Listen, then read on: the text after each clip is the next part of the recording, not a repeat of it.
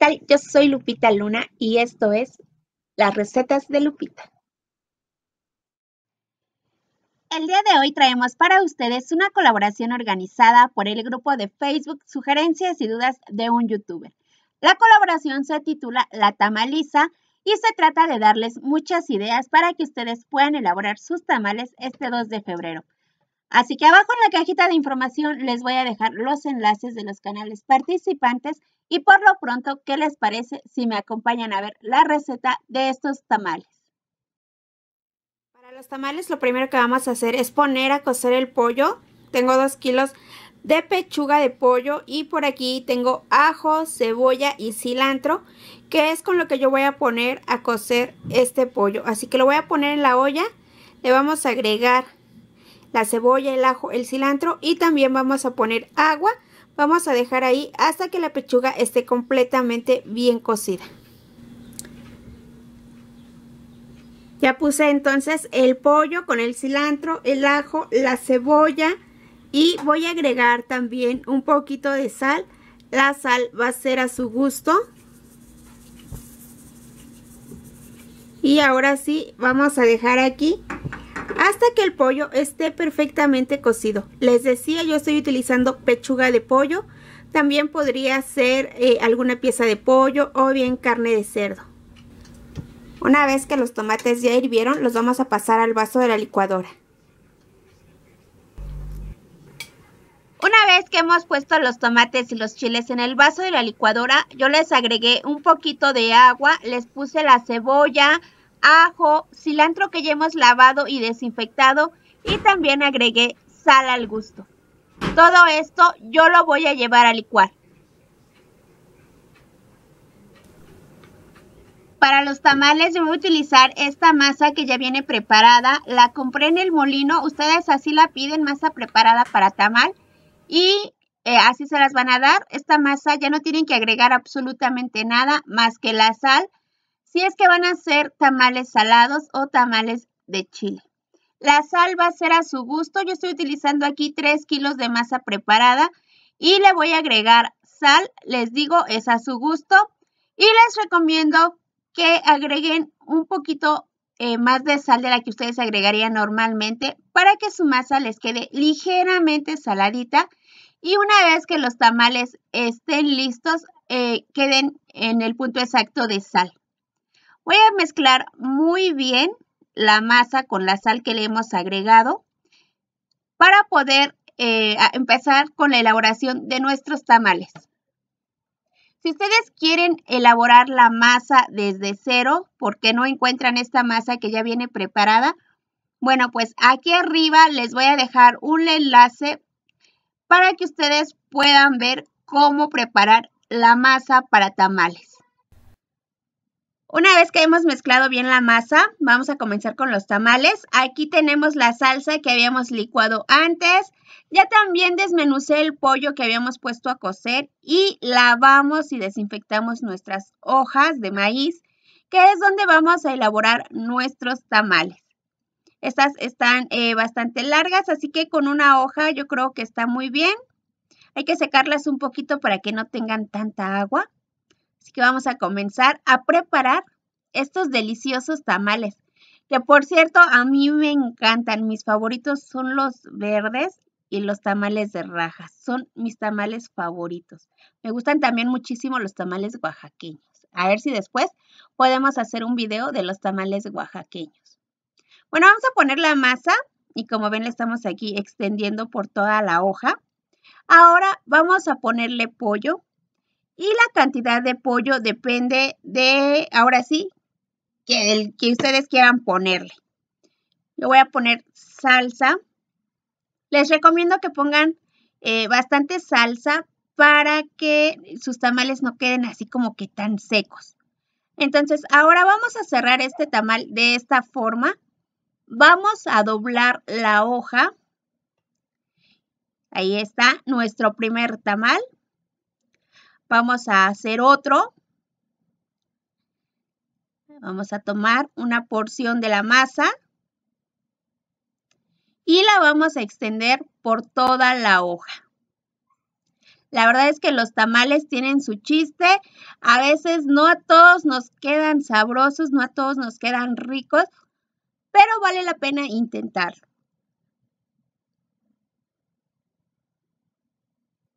Vamos a poner el pollo. Recuerden que puede ser también carne de cerdo, pueden ser em, caracoles como los que hicimos en el tianguis orgánico. Vamos a poner ahí la salsa y a cerrar este tamal. Bueno, pues aquí está nuestro segundo tamal. Vamos a preparar otro. Vamos a tomar nuestra hoja de maíz. Vamos a colocar una porción de la masa que ya tenemos preparada para nuestros tamales. Vamos a extenderla muy bien. Y ahora vamos a agregar el pollo. Y también vamos a agregar la salsa. Vamos a cerrar nuestro tamal. Y ya tenemos aquí listo el tercer tamal. Vamos a hacer lo mismo. Vamos a tomar una hoja. Y bueno, por cada kilo de harina o de masa preparada, les van a salir aproximadamente entre 25 y 30 tamales. Dependiendo también del tamaño que ustedes vayan a hacerlos, es más o menos lo que les salen de 25 a 30 tamales. Vamos ahora a poner el pollo y la salsa. Vamos a cerrar. Y aquí está nuestro tamal. Yo voy a hacer lo mismo con toda la masa que tengo aquí y una vez que haya terminado, les muestro cómo los vamos a colocar en la vaporera. Aquí tenemos la vaporera donde vamos a cocer los tamales y yo le he colocado agua. Aquí mismo yo voy a agregarle ya sea unas piedritas o en este caso voy a poner algunas monedas y esto nos va a indicar cuando el agua comience a hervir y también vamos a saber si se le termina el agua a los tamales entonces, vamos a poner las monedas o las piedritas. Después vamos a colocar la rejilla de nuestra vaporera. Y aquí vamos a hacer una cama con las hojas de maíz. Vamos entonces a colocar las hojas sobre la rejilla. Recuerden que abajo tiene el agua y también algunas monedas para saber cuando comiencen a hervir y por si se le llegara a terminar el agua, bueno, pues nos demos cuenta. Vamos a poner entonces aquí la cama con estas hojas de maíz.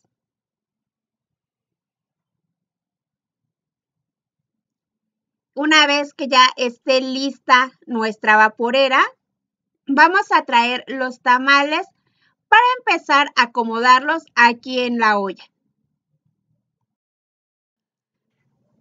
Nosotros tenemos la creencia de que hay que persinar la vaporera antes de empezar a colocar los tamales, así que como vieron yo hice una cruz y vamos a comenzar a colocar los tamales adentro. Eh, mi abuelita también nos decía o nos dice que cuando uno hace tamales no hay que enojarse, no hay que estar peleando, hay que hacerlos con mucha alegría, con mucha paciencia, eh, no hay que estar peleando en la cocina y también ella le amarra en las orejas de la vaporera algunos listones. Esto dice ella que para que la olla no escuche eh, los chismes, no haya mala vibras y que los tamales se cosan perfectamente. Hay quienes le ponen em, masa, masa de esta de las tortillas, alrededor de la olla una vez que colocan la tapa, la sellan con la masa y también es para que eh, no entren las malas vibras, no escuchen chismes y todas estas creencias que como nosotros, que como mexicanos nosotros tenemos. Así que vamos a terminar aquí de acomodar nuestros tamales para comenzar a hacer nuestros tamales de dulce.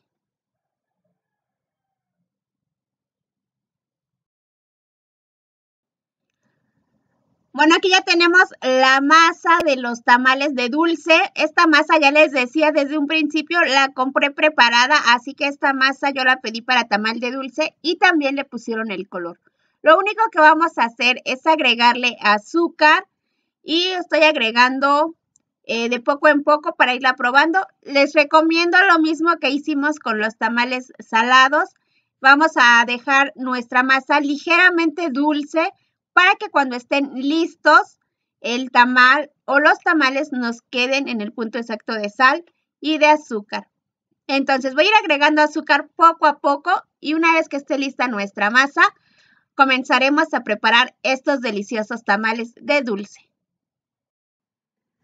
Bueno, pues ya también tenemos lista aquí la masa de dulce. Vamos a comenzar a hacer nuestros tamales y yo voy a hacer la mitad de esta masa, igual son 4 kilos de masa.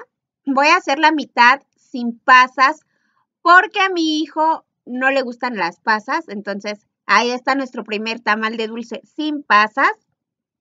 Vamos a hacer otro. Y les decía, los voy a hacer sin pasas, voy a hacer la mitad sin pasas porque a mi hijo no le gustan los tamales de dulce con pasas. Entonces voy a hacer algunos poquitos para, para él sin pasas es lo mismo, cerramos nuestro tamal y ahí está nuestro tamal de dulce. Por acá vamos a preparar otro, pongan una porción de masa, extiéndanla. Si ustedes hacen tamales de piña, bueno, ahí ya también tenemos el video de los tamales de piña. Pidan la masa sin pintar y cuando estén haciendo los tamales, agréguenle trocitos de piña. Bueno, voy a terminar de hacer estos tamales para poder agregar las pasas en la mitad de la masa.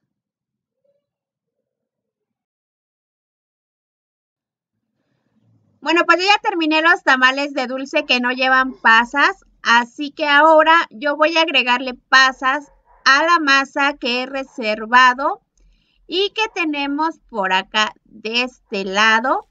A esta masa es aproximadamente la mitad. Le voy a agregar una taza de pasas y voy a mezclar muy bien para comenzar a hacer nuestros tamales de dulce. Entonces, aquí ya tenemos los que no tienen pasas. Ahora vamos a preparar los que sí tienen pasas para llevarlos a la vaporera. Pues ya hemos terminado de acomodar los tamales aquí en la vaporera. Tenemos los tamales de verde, los tamales de dulce sin pasas y también los tamales de dulce con pasas. Ahora vamos a cerrar nuestra vaporera y para eso vamos a necesitar una bolsa de plástico que vamos a colocar encima de los tamales de esta forma. Esto es para que el vapor no se escape. Ahora vamos a colocar una servilleta o un trapo que esté limpio. En mi caso yo voy a utilizar esta jerga que está nueva, además está limpia. La voy a colocar sobre el plástico. La voy a acomodar muy bien para extenderla y que el vapor, les digo, no se escape de nuestra olla. Después voy a llevar esta vaporera al fuego por aproximadamente dos horas. Y bueno, pues ya han pasado dos horas aproximadamente desde que pusimos la vaporera en la estufa. Vamos a revisar qué tal están quedando los tamales. Vamos a destaparla. Vean cuánto vapor hay aquí. ¿eh? Yo voy a sacar un tamal. Si el tamal se despega de la hoja de maíz, quiere decir que está listo. Así que lo reviso y les muestro qué tal nos han quedado estos deliciosos tamales. Bueno, pues aquí están los tamales que hemos sacado de la vaporera. Vamos a ver si ya están listos. Y vean qué fácil se despega el tamal de la hoja de maíz. Quiere decir que están listos. Ahí está porque creo que no estaban viendo. Ahí están ya listos estos tamalitos. Estos son los tamales de dulce con pasas. Y por acá tenemos nuestro tamal salado, nuestro tamal de salsa verde con pollo. Vamos a ver también si ya está listo. ¿Qué tal, eh? Ahí está listo ya nuestro tamalito. Eh, que vean cuánta salsita, cuánto pollo es el que tiene. y la verdad yo ya no me aguanto. Es la una de la mañana, me desvelé haciendo tamales para esta colaboración con, con las chicas del grupo de sugerencias y dudas de un youtuber. Y bueno, como ya me desvelé por, por estar esperando los tamales, pues yo creo que los voy a tener que probar. Así que con su permiso yo voy a probar este tamalito de dulce a ver qué tal nos ha quedado.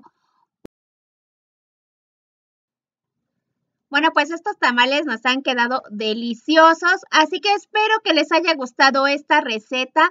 No olviden compartir este video, suscribirse al canal, dejarnos sus comentarios. No olviden también visitar los canales participantes en esta colaboración de la tamaliza.